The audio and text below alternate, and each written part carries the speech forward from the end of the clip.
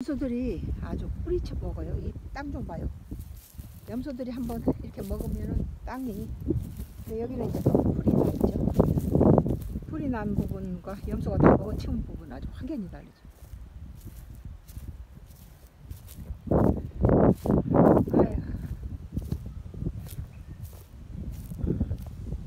이놈은 얘 너는 뭐 하는 거야? 순놈인가 봐요. 어, 순놈이. 아이고. 아, 게으른 순놈. 아이고. 순놈인가? 암놈인가? 아, 순 놈이네. 순놈이고. 여기 둘은, 아, 셋은 다 새끼면서 암컷들이.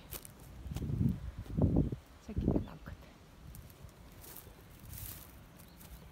아, 이렇게 움직이면서 이렇게 내줘야 돼요.